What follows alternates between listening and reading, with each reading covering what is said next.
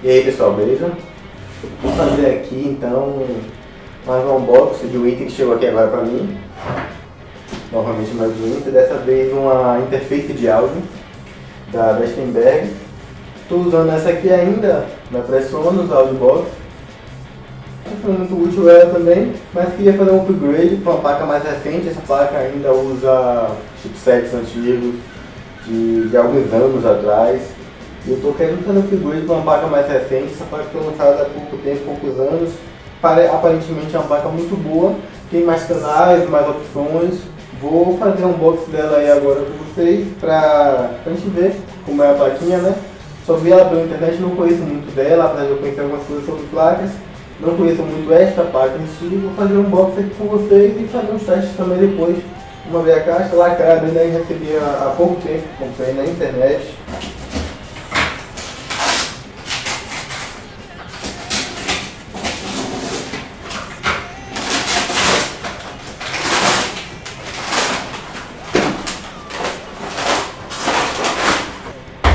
Tá aí, ó, a, a caixa da bichinha, o R44 da Steinberg, Steinberg que daí amarra também, Yamaha deu esse certificado de garantia para o lado fora da caixa. Lacradinha ainda com a fita da Yamaha, não foi bem mexido pela loja, tá tudo aqui, ó, quatro entradas dianteira, curtidor de ganho, duas saídas para, para fone de ouvido, quatro entradas de, de alto ganho para instrumento, é, conector Neutric Combo, você pode ligar tanto o instrumento como o XLR de microfone. Tem, além das quatro entradas, tem mais duas entradas de linha aqui, que seria a entrada 5 e 6 aqui. Vou mostrar na placa isso em si. Seis saídas de áudio também. Fora entrada e saída de MIDI, certo? Ela funciona com, com a fonte que vem, que vem nela, né? Vamos abrir aqui a caixa, falando, compatível com, com o Cubase, o Wavelab, o Endo, Pro Tools 9, 10, 11, Studio One, Live, Logic, GarageBand. A maioria dos softwares, por ser uma placa nova, ela é compatível com, com a maioria dos softwares que estão novos no mercado aí, o pessoal está usando muito. Vamos agora abrir ela aqui, né? Tirar o, o da Yamaha. Aqui é aparentemente muito boa. A Yamaha não costuma fazer nada, nada ruim. Uma cartinha para você o serial para Yamaha, manual de operações em CD, software de instalação, um manualzinho, a fonte dela, né?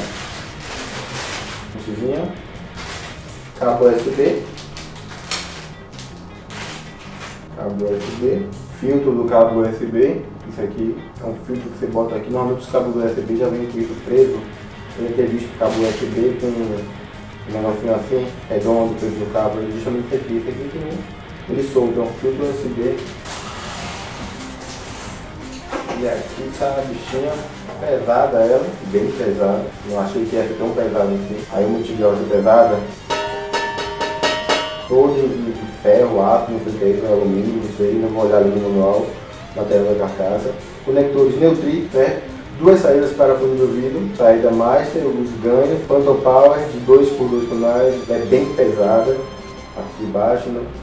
parte de cima tem tudo marcado aqui, dá para olhando atrás da placa. Ela tem a entrada 5 e 6 de linha, saídas de linha 1, 2, 3 e 4, mais a saída é, do main, né? A LR. Poderia ser 1, 2, 3, 4, 5 e 6 também, se você, você quiser contar. MIDI in, MIDI out, ela é compatível com iPad, iPhone também. É para você ligar aqui a chave, liga o cabo nela e o cabo no iPad e no iPhone. Pensar no que você pode ligar e transformar.